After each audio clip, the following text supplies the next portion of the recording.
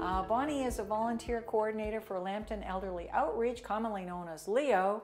And Bonnie, in my mind, the volunteers are really the lifeblood of any community. And as a volunteer coordinator, uh, what kind of activities do the volunteers do that you get involved with? So, uh, as the coordinator, I onboard the volunteers Mm-hmm. and we go through a thorough screening. Okay. They have to get a volunteer, uh, sorry, a vulnerable sector check, Okay. which is the police check, but that's what we call a vulnerable sector check. Okay. And if they're volunteer drivers, they would get a driver's abstract.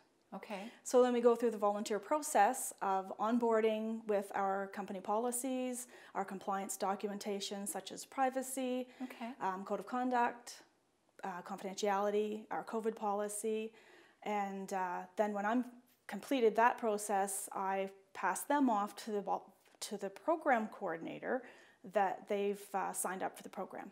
Okay, so whatever they're particular interested in, they kind of get funneled after they, they you have to go they have to go through you first though. Mm-hmm. Okay.